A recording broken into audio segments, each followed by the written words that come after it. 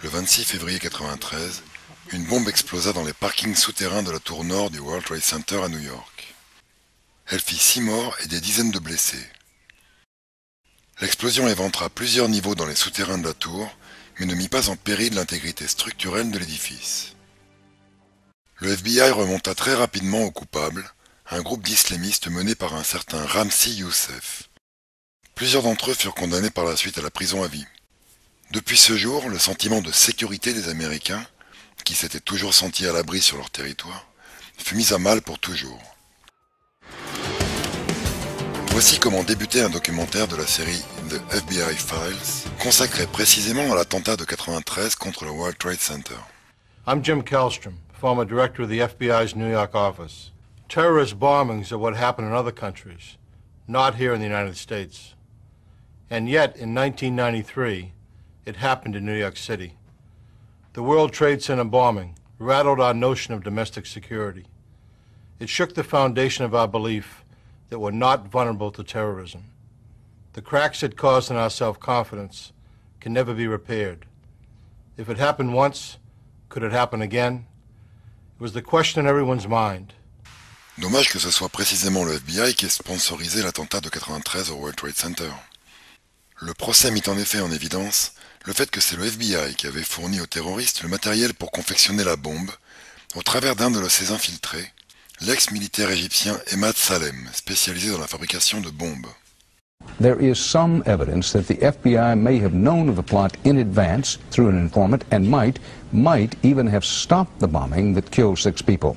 Correspondent Jacqueline Adams has the story. FBI agents might have been able to prevent last February's deadly explosion at New York's World Trade Center. They discussed secretly substituting harmless powder for the explosives, but they didn't, according to the FBI's own informant, Imad Salem. Unbeknownst to the FBI at the time, Salem recorded many of his conversations with his handlers. In one, Salem complains to an FBI agent, Since the bomb went off, I feel terrible. I feel bad. I feel here is people who don't listen. The agent replies, Hey, I mean, it wasn't like you didn't try and I didn't try. You can't force people to do the right thing. Voici un autre extrait des enregistrements où l'on voit Salem confirmer que la bombe a été fabriquée sous la supervision du FBI. We was start already building the bomb, which is went off in the World Trade Center. Uh, it was built by uh, uh, uh supervising uh, supervision from the bureau and the GA, and we was all informed about it, and we know that the bomb start to be built. By who? By your confidential informant.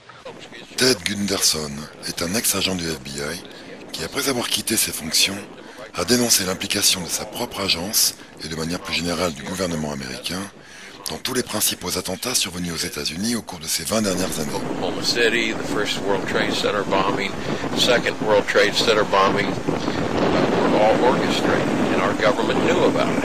And in some cases, like the first World Trade Center, they furnished the explosives and the training for these guys. Et revoici ce même Gunderson qui commente l'implication du FBI dans le premier attentat du World Trade Center, celui de 93. As a result of testimony in the trial and the informant, the FBI informant in the trial, a fellow named Salam, a 43-year-old former Egyptian uh, army officer. Imam Salam. Right. He was the informant for the FBI. And he recorded his conversations secretly with this. So when it came time for trial, he said, hey, wait a minute. Here's what really happened. Now, he told the FBI in advance that they were going to bomb it. He was assigned, uh, uh, given the assignment to put the bomb together. And he went to his supervisor his FBI supervisor and said, we're going to put a dummy bomb in here, right? He, and the FBI supervisor said, no, we're going to put a real bomb. Le juge Andrew Napolitano a réalisé pendant plusieurs années les analyses politiques pour la chaîne Fox News. Dans cette émission, où il parle de 17 affaires d'attentats apparemment déjouées par le FBI, il explique que ce même FBI infiltre et parvient à convaincre les différents groupes d'aspirants terroristes à préparer ces attentats. Exactement comme ils l'ont fait dans le cas du World Trade Center. But the more curious cases are the remaining 17 for which the federal government has taken credit. They all have a common and reprehensible thread. They were planned, plotted, controlled, and carried out by the federal government itself. In all of these 17 cases, from the Fort Dix 6 to the Lackawanna 7 to the Portland Parade bomber, the feds found young men of Muslim backgrounds, loners who were bitter at America. They befriended them, cajoled them, and persuaded them that they could change the world by killing Americans. In all these cases, agents worked undercover and portrayed themselves to the targets as Arabs of like un-American mind. In some cases, the federal agents used third parties to act as middlemen. The third parties were typically persons who had been convicted of crimes and who, in return for leniency at their own sentencings, were willing to work with the same feds who prosecuted them in order to help the feds entrap whomever else those feds were pursuing. Voilà, selon Ted Gunderson, le motif pour lequel le FBI se serait impliqué de manière directe dans tous les principaux attentats de ces dernières années sur le sol américain. Okay, back in the 80s, 1980s, uh, the Department of Justice proposed legislation to fight terrorism. And uh, this legislation took away many of our constitutional rights and civil liberties. One of the authors, a female attorney with the Department of Justice, publicly stated, made this statement, I've got her name on my file someplace, that before this passes, people will have to be killed. Well, so that was the reason I feel for the 1993 World Trade Center bombing.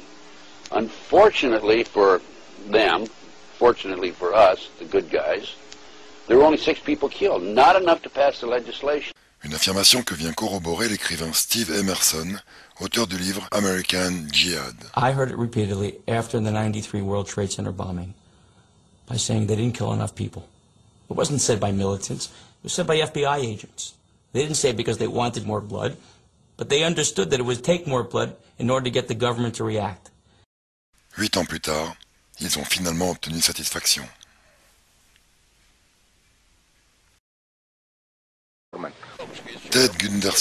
Est un ex-agent du FBI qui, après avoir quitté ses fonctions, a dénoncé l'implication de sa propre agence et de manière plus générale du gouvernement américain dans tous les principaux attentats survenus aux États-Unis au cours de ces 20 dernières années.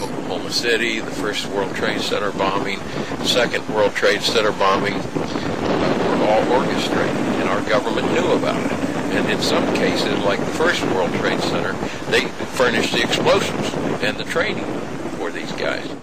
Et revoici ce même Gunderson qui commente l'implication du FBI dans le premier attentat du World Trade Center, celui de 93. As a result of testimony in the trial and the informant, the FBI informant in the trial, a fellow named Salam, a 43-year-old former Egyptian uh, army officer. Imam Salam. Right, he was the informant for the FBI. And he recorded his conversations secretly with this. So when it came time for trial, he said, hey, wait a minute, here's what really happened. Now, he told the FBI in advance that they were going to bomb it. He was assigned, uh, uh, given the assignment to put the bomb together. And he went to his supervisor, his FBI supervisor, and said, we're going to put a dummy bomb in here, right? He, and the FBI supervisor said, no, we're going to put a real bomb. Le juge Andrew Napolitano a réalisé pendant plusieurs années les analyses politiques pour la chaîne Fox News. Dans cette émission, où il parle de 17 affaires d'attentats apparemment déjouées par le FBI, il explique que ce même FBI infiltre et parvient à convaincre les différents groupes d'aspirants terroristes à préparer ces attentats. Exactement comme ils l'ont fait dans le cas du World Trade Center. But the more curious cases are the remaining 17 for which the federal government has taken credit. They all have a common and reprehensible thread. They were planned, plotted, controlled, and carried out by the federal government itself. In all of these 17 cases, from the Fort Dix 6 to the Lackawanna 7 to the Portland Parade bomber, the feds found young men of Muslim backgrounds, loners who were bitter at America. They befriended them, cajoled them, and persuaded them that they could change the world by killing Americans. In all these cases, agents worked undercover and portrayed themselves to the targets as Arabs of like un-American mind.